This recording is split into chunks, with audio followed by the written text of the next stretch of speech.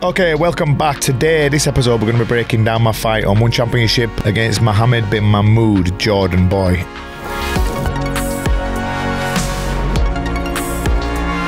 Okay, this episode is sponsored by Caldera Labs. They are a male skincare company. Um, basically, I've always neglected uh, my skincare, but now, as obviously as I'm getting older, I've got to look after it a little bit more. I don't want to actually be looking as old as I am. Um, all these products are absolutely amazing. So you've got here, this is the, the clean slate. This is twice a day in the shower, morning and evening. This is a, a balancing cleanser, um, just like a, fa a face wash. Then after this, we go to the base layer, it's the moisturising cream. Again, twice a day. After the clean slate, you use this one. Just uh, like your regular moisturiser, but it makes your, your skin nice and soft, nice and smooth. From there, we've got the icon. Now, obviously, if you're, you're like me, you're in the gym a lot, you're tired. When I wake up on a morning, I start to feel the bags under my eyes and stuff like that. This sorts them right out. Uh, this is an amazing product. Uh, it's a rejuvenating eye serum. And then this one, one of my favourites, this is the good. Uh, I use this every night before bed, and this is uh, a multifunctional serum. You put this on your skin, it starts to make it feel a little bit tighter, makes it look a little bit smoother, it gives it that little bit of an extra glow. Okay, so again, use code KICKINIT for 20% off and free shipping. Uh, that's for all Caldera Lab products. So basically, I'm gonna I'm gonna break this one down because although it was only a, a, of a bit of a, a, quick demolition job, really, the story and the backdrop to it was uh, it was quite important. Was, I needed to pull something out the bag in this fight here. This was my third fight and one championship, and my first two had been against two elite, high-level champions. So my first one was against Petchmorakot, who was the champion in the weight above me. Uh, most people know he was reigning champion for a, a, long, long time in that weight until he, he lost against Tawanchai. But he, he was he was on an incredible winning streak up until he uh, got the belt took off him. But yeah, my first fight on one was against him. Now, like a complete idiot, I took this on one week's notice at the weight division above, which was ridiculous. I remember the fight was in December, and obviously, I, I just, December it was Christmas in the UK, so I'd stopped stopped my training. Well, I was still ticking over, but I'd stopped any hard training. I'd been joining in with the Christmas festivities and all the rest of it. And then we got a call at the right at the beginning of December. You want to fly to Malaysia in six days and fight with Petchmorakot? And I said, well, I'm not going to make weight because it's Christmas. I'm, I've been eating, I've been drinking, I've been on nights out, Christmas nights out, etc., etc. And uh, they went, oh, don't worry, it's at the weight above. So, like an idiot, I just straight away, I didn't even think twice. I just went, yep, I'll do it. Within an hour or so, there'd been a contract emailed over. I'd signed it. I went straight to the gym and kicked the pads, and I realised how like out of shape I actually was, and how far, I was so far away from fight fitness I was. Um, and I just thought, oh well, the only saving grace is at least I don't have to diet to make weight, so I'm not gonna have to kill myself because I was walking round around 71, 72 kilos at the time, and the fight was at 70.3. Yeah, so uh, there was going to be no issue making weight. So yeah, I trained for three days or four days. Then I hopped on the plane and flew over to Malaysia for the fight week. I did a few sessions in Malaysia when it was absolutely boiling hot and I realised how unfit I actually was. So I just thought, right, I'm gonna have to try and knock him out. Now, if anyone's seen Petchmorakot fight, um, you'll know he's renowned for having a fucking absolute granite iron jaw. He's beat some of the best fighters on the planet, like Saenchai, Seksan, all, the, all those guys. Petchboonchu, he's a, he was an absolute animal when he used to fight in the stadiums, and he's proved when it were on one, he's, he's got a, a cast iron jaw. Beat a lot of top top level fighters uh, throughout his career. He'll, he'll go down in history as one of the all time greats. So round one pretty much lit him up. But like if it was in the smaller four ounce gloves, which obviously all the fights in one now they have to be in four ounce gloves if it's Muay Thai. But back then it were. Um,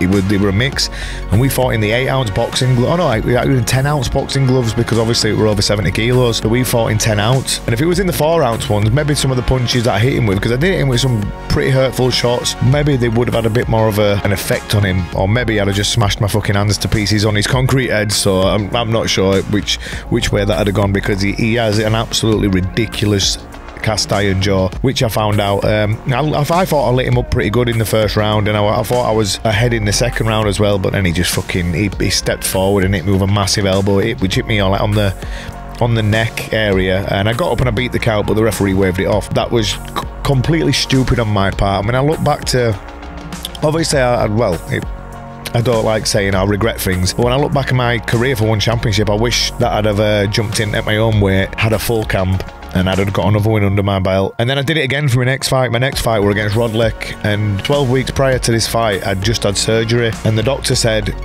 do not, you'll be back full training in 12 weeks. And I'd just got the contract through for the Rodlek fight, and I thought, well, fuck that, I'm gonna fight in 12 weeks. So yeah, the first six weeks was just all rehab work, and then I only had six weeks till the fight just to try and blast my fitness up. So I had to get my weight down, I had to get my fitness up, all within the space of six weeks. So there wasn't much of a game plan going into the the Rodlek fight either.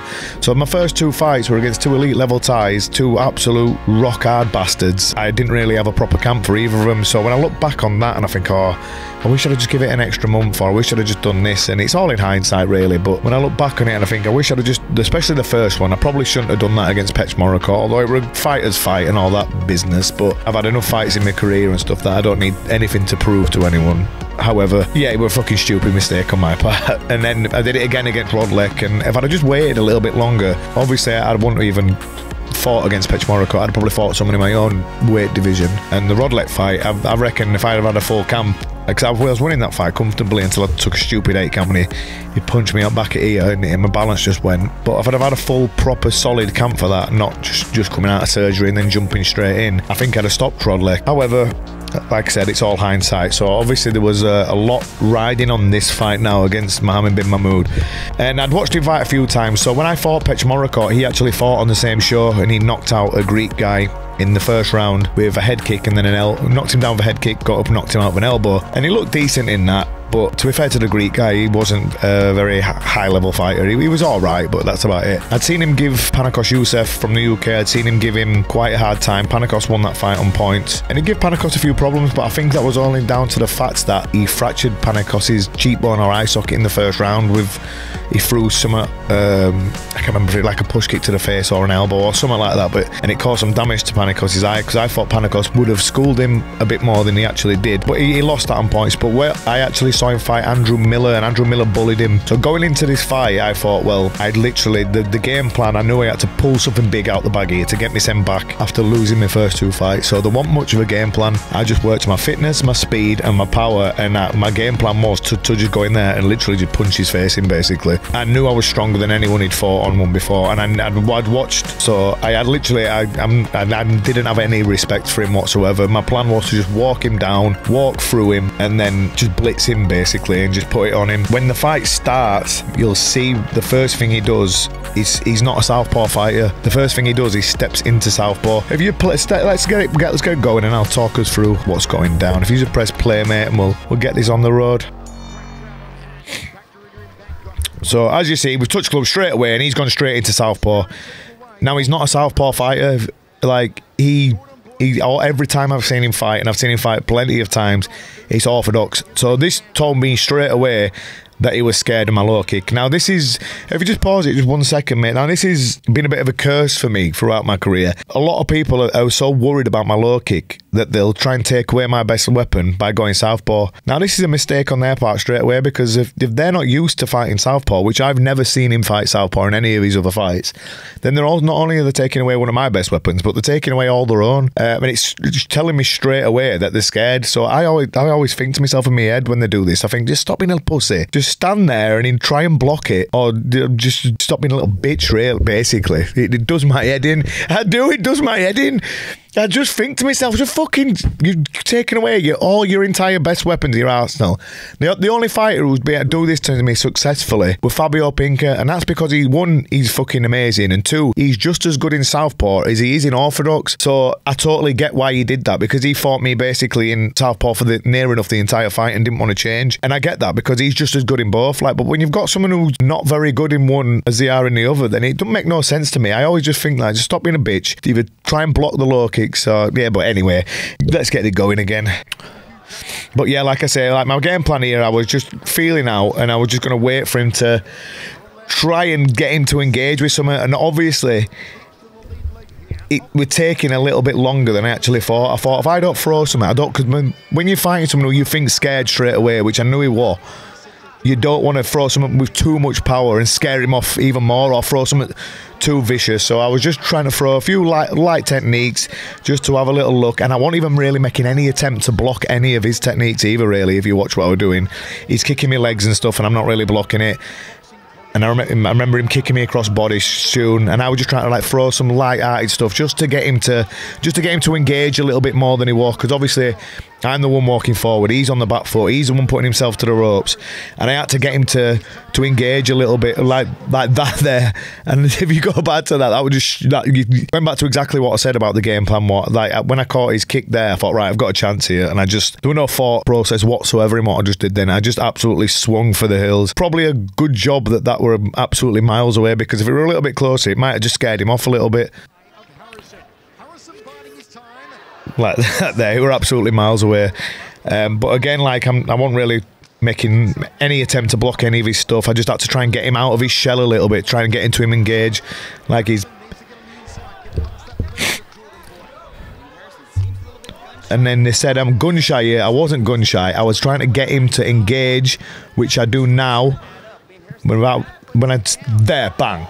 So I, like I said, I was I had to get him to make a mistake because he was so being so negative. When you're fighting a negative fighter who's going on the back foot and they're throwing flicky stuff at you and they're not really engaging, and it's tough to try and bring him out of the shell. So all I was doing there is just throwing everything that I through for that first minute and a half of that round was no more than fifty percent, other than that stupid, ridiculous hook that missed by a mile. So that's what I had to do. I had to try and get him out to engage, and the, the second he did, as soon as he stepped into me, I'm not sure what he was even going to step forward and do, but I just knew he would. He'd finally stepped into my range instead of stepping back out of my range so I could let someone go with some venom to play it there. And you'll see him step forward. He steps straight into my strongest weapon, which is obviously my left hook. There you go. When I was looking at him here as well, like the noise the hook made off his face, I knew he was all over the place here. So again, caution got thrown to the wind, and I would, I would just try to finish him here. If you stop here, if you go back, just push it back a little bit. Obviously, when we go into the clinch, that's not where I want it to be. This is one of my favourite techniques, so I teach this one a lot in the clinch. I push his head back with my left hand, and I bring the right elbow up through the middle when I break the grip off. So if you just play it.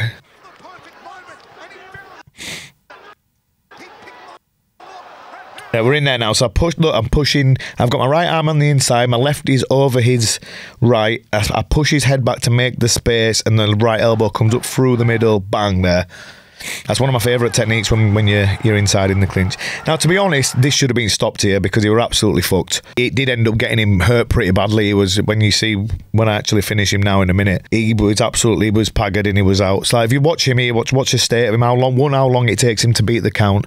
Two, he has no idea what planet he's on. And three, when he stands up, he can barely put his hands up when the referee says, "Do you want to continue?" One hundred percent, he should have been stopped there. Actually, when I'm running across the ring to him, I remember thinking to myself, "He's absolutely fucked here." But obviously, my job is to make sure he gets put away. And I didn't do it with any finesse whatsoever when I when I finish him off because, like I said, I needed a big win. I needed to finish him off and get me send like get my my reputation back up there after the two previous losses. And yeah, there's no technique whatsoever. If you just press play, you just see me run across ring and start swinging like it's Saturday night outside a kebab shop. but like, look at state of him. That when the ref tells him to come forward, he can barely move. So like that, look, he's. he's and then yeah, and that and that's that. But yeah, it were. Um, I don't even know how I got cut on top of my head there. Like I've got paper skin me. I've got that much scar tissue all over my head over all years of fighting. That it doesn't take much to to to bust me up. And but yeah, that was a, a good win for that. It was solid, and I, I did it in a fashion that I'd, I'd, seen him fight a few other decent level fighters, and none of them just had blitzed him like I did there. So I made a bit of a statement for for that one as well. Um, I'd, I'd had some wins in between this. It was just outside of one championship where I'd had my wins, so my confidence was pretty high still. Um, it was nice to get the win in Bangkok. Obviously, I've had a lot of my career fighting in Bangkok when I used to live in Thailand, and uh, I'd not fought there for quite a while. So it was nice to uh, to get back in and, and win in Thailand in front of all Thais and stuff like that. So yeah, we're a yeah, we're a good feeling. But this shot here, watch his eyes roll into his head to be fair, he did very, very well to get up from that because when he watches his eyes here, he looks back at. The, you can see, look his eyes. He's, he's he's on planet Zog. He did very, very well to get up from that. But the second knockdown, he definitely shouldn't have been allowed to carry on from. That's about it. Um, yeah, that's, that's about it, really. Okay, hope you enjoyed uh, that breakdown, short and sweet. But um, yeah, any other fights that you want to see me break down, whether they're mine or someone else's, bang them in the comments below, and we'll uh, we'll see what we can do.